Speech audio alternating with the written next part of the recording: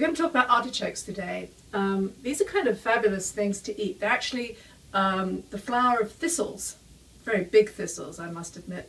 But it's one of those vegetables I often wonder how people actually manage to find a way to eat these things. I mean, look at it.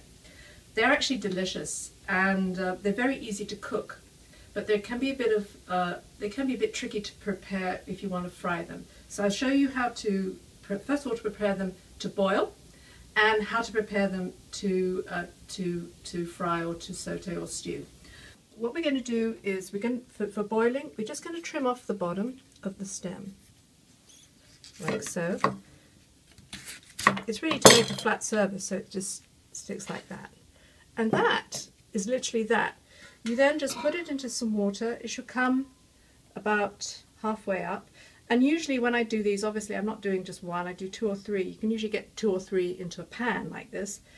And then um, you, you uh, turn the heat on, bit of salt, turn the heat on and till it boils and then you simmer it for about 40 minutes and that's usually when they're done. I have one cooked here so that uh, we don't have to wait a lot round, around a long time. And you know, you see it's lost its beautiful green colour and it's turned into kind of a um, uh, olive green colour. You know when it's cooked when you can just simply pull these leaves off. Now, if you can see this bit of the leaf here, you can eat. So I'm going to show you what to do when you get to the jewel in the heart of these things, which is the choke. Whenever I serve these at home, I always have a big salad bowl to one side so that people can actually... All of this part here is all edible. It's absolutely delicious. Now as you get closer to the centre you'll see the leaves get thinner and more tender. Oops.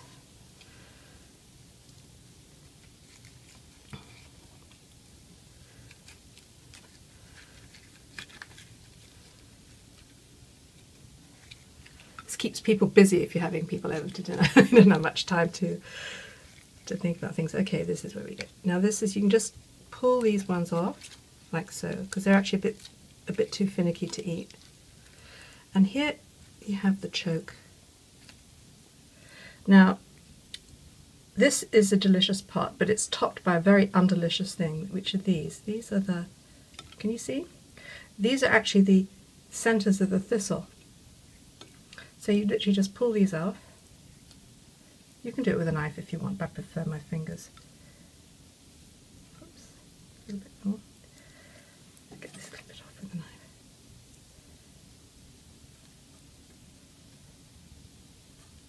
And there you have the artichoke heart. And this I've got to tell you is totally delicious. As with all of these things, when you eat it, you can dip these into a little bit of vinaigrette, or if you're eating them warm, into a little bit of, um, dare I say, butter. But this is really the most fabulous thing. It's worth all the effort of getting to the bottom of it.